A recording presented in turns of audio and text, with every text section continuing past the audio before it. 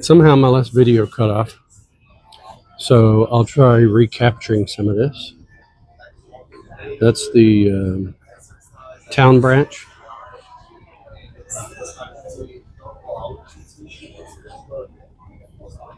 And that runs about 50 some dollars, 59 I guess.